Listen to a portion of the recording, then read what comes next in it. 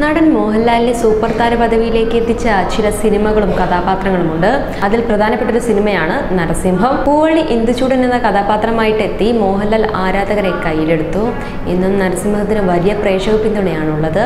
ഷാജി കൈലാസിന്റെ സംവിധാനത്തിൽ രണ്ടായിരത്തിലാണ് നരസിംഹം തിയേറ്ററുകളിലേക്ക് എത്തുന്നത്. ഷാജി കൈലാസിന്റെ സംവിധാനത്തിൽ പിറന്ന സിനിമകൾ ഏറ്റവും സാമ്പത്തിക വിജയം നേടിയ ചിത്രവുമായിരുന്നു ഇത്. ഇപ്പോഴും മോഹൻലാലിന്റെ കരിയറിലെ ഏറ്റവും മികച്ച സിനിമകളിലൊന്ന് ഇതാണെന്ന് പറയേണ്ടി വരും. രണ്ടായിരത്തി ഇരുപത് ജനുവരി വരുമ്പോൾ നരസിംഹ റിലീസ് ചെയ്തിട്ട് ഇരുപത് വർഷം പൂർത്തിയാവുകയാണ്. ഒരു പ്രമുഖ മാധ്യമത്തിന് നൽകിയ അഭിമുഖത്തിൽ ഈ വിശേഷങ്ങൾ ഷാജി കൈലാസ് പങ്കുവച്ചിരിക്കുകയാണിപ്പോൾ. ചില സിനിമകൾ അങ്ങനെയാണ്. അതൊരു ബെഞ്ച് മാർക്കായി നിൽക്കും. രണ്ടായിരം ജനുവരിയിലാണ് നരസിംഹ റിലീസ് ചെയ്യുന്നത്. ഇന്നും പ്രേക്ഷകർ ആവശ്യപ്പെടുന്നത് അതുപോലൊരു ചിത്രമാണ്. ചിത്രം ഇന്നും ചാനൽ വരുമ്പോൾ അത് കാണാൻ ആളുകളുണ്ട്. ആ സിനിമ റിലീസ് ചെയ്ത കാലത്ത് ജനിക്കാത്ത കുട്ടികളാണ് ഇന്നെന്റെ ആരാധകർ. ആറാം തമ്പുരാൻ എന്ന സിനിമ കഴിഞ്ഞപ്പോൾ ഇനി അതിനേക്കാൾ മുകളിൽ നിൽക്കുന്ന ഒരു സിനിമ ചെയ്യുക എന്നതായിരുന്നു ഞങ്ങളുടെ ചിന്ത. അങ്ങനെ ഇരിക്കെയാണ് തിരുവനന്തപുരം പങ്കജ് ഹോട്ടലിൽ വെച്ചുള്ള കൂടിക്കാഴ്ചയിൽ ആന്റണി പെരുമ്പാവൂരും പ്രൊഡക്ഷൻ കൺട്രോളർ സച്ചിക്കും വേണ്ടി ഒരു സിനിമ ചെയ്ത് കൊടുക്കാൻ പറ്റുമോ എന്ന് മോഹൻലാൽ ചോദിച്ചത്. ആന്റണി പെരുമ്പാവൂർ വിതരണക്കാരനായി സ്വർഗചിത്രം അപ്പച്ചനും വന്നതോടെ ഫിനാൻഷ്യൽ ഏരിയ ഓക്കെ ആയി. കഥയൊന്നും കയ്യിലില്ലെങ്കിലും ഞാൻ ഓക്കെ പറഞ്ഞു. അങ്ങനെ ഞാനും രഞ്ജിത്തും ചെന്നൈയിലെ ഈരാളി ഗസ്റ്റ് ഹൗസിലിരുന്ന് കഥ ചർച്ച തുടങ്ങി. അങ്ങനെ ആദ്യം തീരുമാനിച്ചത് ദാവിദ് രാജാവ് എന്ന ചിത്രമായിരുന്നു. പക്ഷേ ചർച്ച പുരോഗമിച്ചപ്പോൾ അതിൽ അത്ര സംതൃപ്തി തോന്നിയില്ല. പിന്നീട് കഥ മാറ്റി ചിന്തിച്ചു. ജീവിതത്തിൽ ഒരു ഘട്ടത്തിൽ പരാജയപ്പെട്ട നായകന്റെ തിരിച്ചുവരവ് പ്രേക്ഷകർ എന്നും രസിക്കുന്ന വിഷയമാണ്. അത്തരം ഒരു കഥയിലേക്ക് ഫോക്കസ് ചെയ്യാൻ ഞാൻ രഞ്ജിത്തിനോട് പറഞ്ഞു.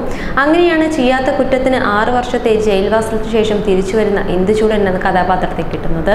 ഫ്യൂഡൽ പശ്ചാത്തലത്തിൽ പറഞ്ഞു പോകുന്ന മധുരമായ പ്രതികാരത്തിന്റെ കഥയുടെ വൺലൈനുമായി ഞാനും രഞ്ജിത്തും കോഴിക്കോടേക്ക് വണ്ടി കയറി. ബാക്കി ഭാഗങ്ങൾ കാലിക്കറ്റ് ഡവറിലിരുന്നാണ് രൂപപ്പെടുത്തിയത്. ഞാൻ ഓരോ ചിത്രത്തിലേക്ക് കടക്കുമ്പോഴും നിർമ്മാതാവിന് മുടക്കുമുതൽ കിട്ടുമോ എന്നറിയാൻ ജോൽസിനെ കാണാറുണ്ട്.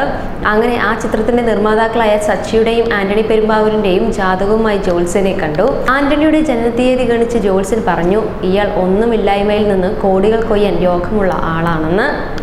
തൊട്ടതെല്ലാം പൊന്നാകും. എന്നാൽ സച്ചിയുടെ ജാതകം നോക്കിയപ്പോൾ അയാളുടെ മുഖം വാടി. ഈ ജാതകം തീർന്നതായാണ് കാണുന്നത്. മക്കളുടെ ജാതകം നോക്കിയാൽ ഈ സമയത്ത് അച്ഛന് ശേഷക്രിയ ചെയ്യാനുണ്ടോ എന്ന് നോക്കണം. ജീവിച്ചിരിക്കുന്നവരെ കുറിച്ച് ജോൾസൺ ഇങ്ങനെ പറഞ്ഞപ്പോൾ വല്ലാത്ത വിഷമം തോന്നി. ഞാൻ ചെന്നൈയിൽ പോയി രഞ്ജിത്തിനോട് ഈ കാര്യം പറയുമ്പോൾ ശോകൻ രാജൻ വിളിച്ചു. അറിഞ്ഞില്ലേ നിങ്ങളുടെ നിർമ്മാതാവ് തല കറങ്ങി വീണു. ഹോസ്പിറ്റൽ അഡ്മിറ്റ് ചെയ്താണ് ഞാൻ വരുന്നത്. പ്രവചനം ഫലിച്ചു. ഞങ്ങളുടെ ഷൂട്ടിംഗ് തുടങ്ങുന്നതിന് മുൻപ് തന്നെ സച്ചി വിട പറഞ്ഞു. പിന്നീട് ആന്റണി ചിത്രം ഏറ്റെടുക്കുകയായിരുന്നു. അന്ന് രജനീകാന്തിന്റെ പടയപ്പ റിലീസ് ചെയ്ത കാലമായിരുന്നു. ആ ചിത്രം കണ്ടതിൽ നിന്ന് കിട്ടിയ ആവേശത്തിലാണ് ഞാൻ നരസിംഹത്തിന്റെ ഷൂട്ടിങ്ങിനിറങ്ങിയത്. ഇന്ദുചൂടനെ വിശദീകരിച്ചപ്പോൾ ആ കഥാപാത്രത്തിന്റെ ഫയർ മോഹൻലാലിലേക്ക് പെട്ടെന്ന് കയറി. പിന്നീട് ലാൽ ഇന്ദുചൂടിന്റെ ബാധ കയറിയതുപോലെയായിരുന്നു അഭിനയം. വളരെ ഫാസ്റ്റായ മൂവ്മെന്റിൽ മ്യൂസിക് മനസ്സിൽ കണ്ടുകൊണ്ടായിരുന്നു ഞാൻ ഷൂട്ട് ചെയ്തത്. രഞ്ജിത്ത് ഓരോ സീനും മനോഹരമായി എഴുതുകയും ചെയ്തിരുന്നു. ഇത്തരം വെല്ലുവിളി ഉയർത്തുന്ന സ്ക്രിപ്റ്റ് കിട്ടുമ്പോഴാണ് നമ്മുടെ ഉള്ളിലും ഫയർ വന്നു കയറുന്നത്. ചിത്രം പുറത്തിറങ്ങിയപ്പോൾ സീൻ ബൈ സീനായി ചിത്രത്തിലെ ഡയലോഗ് പറയുന്നവരെ എനിക്കറിയാം. അത് സിനിമ തീർക്കുന്ന അസാധാരണ ഇമ്പാക്റ്റ് ആണെന്നും ഷാജി കൈലാസ് പറയുന്നു. ചിത്രത്തിലെ ഭീമൻ രഘുവും മോഹൻലാലും ചേർന്ന ഫയർ ഫൈറ്റ് സീൻ ചെന്നൈയിൽ ഒരു പെപ്സി ഗൗഡൌണിലാണ് സെറ്റിട്ട് ചിത്രീകരിച്ചത്. കനൽ കണ്ണനായിരുന്നു ഫൈറ്റ് മാസ്റ്റർ. തീ കത്തിപ്പടരുന്ന പശ്ചാത്തലത്തിൽ മോഹൻലാൽ ചങ്ങലയിൽ സാഹസികമായി തൂങ്ങി വരുമ്പോൾ തീക്കോളങ്ങൾ ഇരുവശങ്ങളിൽ നിന്നും വരും. അങ്ങനെയാണ് പ്ലാൻ ചെയ്തത്. എന്നാൽ ലാൽ ചങ്ങലിൽ തൂങ്ങി വന്നപ്പോൾ ഫയർ ഇൻഫാക്റ്റുകാരന്റെ ടൈമിംഗ് തെറ്റി. തീക്കോളം മുഖത്തിന് നേരെ വന്നു. അതുകൊണ്ട് ഞാനും ആന്റണി പെരുമ്പാവൂരും അയ്യോ എന്ന് ആർത്തു വിളിച്ചു. ലാൽ പെട്ടെന്ന് മുഖം താഴ്ത്തിയതിനാൽ വലിയ അപകടം ഒഴിവാവുകയായിരുന്നു. സിനിമയുടെ രണ്ടാം പകുതി എഴുതിയപ്പോഴാണ് ഇതിൽ ഇന്ദുചൂടൻ രക്ഷിക്കാനെത്തുന്ന അഡ്വക്കേറ്റ് നന്ദഗോപാല മാരാർ എന്ന ശക്തനായ കഥാപാത്രം വരുന്നത്. ആ കഥാപാത്രത്തിലേക്ക് സുരേഷ് ഗോപിയെ അടക്കം പല താരങ്ങളെയും ചിന്തിച്ചു. ഒടുവിലാണ് മമ്മൂട്ടിയിലെത്തിയത്. ഞാനിത് ചെയ്താൽ നിങ്ങൾ എനിക്കെന്ത് തരും? കഥ കേട്ടപ്പോൾ മമ്മൂട്ടി ചോദിച്ചു.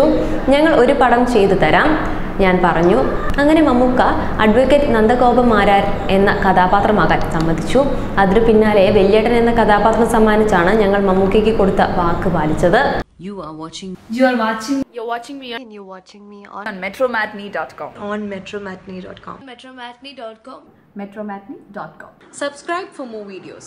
subscribe for more videos Subscribe here for more videos. Subscribe now. Thank you.